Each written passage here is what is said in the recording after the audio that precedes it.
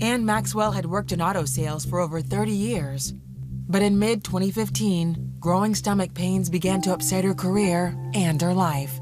Started getting really sick, and the uh, initial diagnosis was to remove my gallbladder. It said that it would, you know, relieve all my symptoms. So I wasn't scared. I was actually looking forward to going in there and hopefully get the healing. But after doctors removed Anne's gallbladder, the symptoms only worsened, and she ended up losing her job. A lot of vomiting, a, a, a lot of diarrhea, lots of really bad stomach cramping. I ended up going to the emergency room. My son took me. He and I think both thought that I was dying. It was so severe and I was losing so much blood. It was then she was diagnosed with degenerative ulcerative colitis, a disease that causes inflammation and sores in the digestive tract. With no cure, Anne relied on homeopathic remedies to help manage her symptoms as the illness proved debilitating and disheartening. I was 57 and still loved life. I loved working. I loved being out. I loved cooking. And all those things were taken away from me. So it was really hard. And you know, I got further and further down in just depression and, and darkness, and, and I just became almost like a recluse. It was almost like a sentence of retirement, like early retirement, and you're just gonna have to live with it.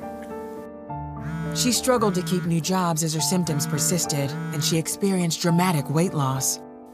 Seeking encouragement, she turned to the Bible, sermons, and journaling. That was the only relief that I was really finding for this was just studying scripture and watching a lot of ministers, writing a lot of notes about the journey in the darkness. But I, I didn't see a future for sure. It was awful. It was terrible. It was the hardest part of my life for sure.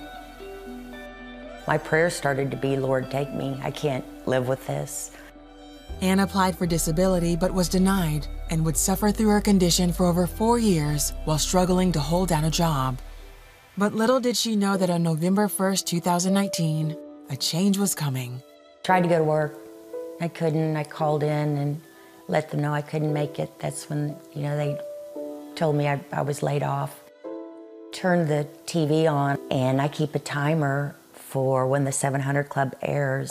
And so I flipped over and just within a couple of seconds, Terry Meeuwsen came on with the message of healing.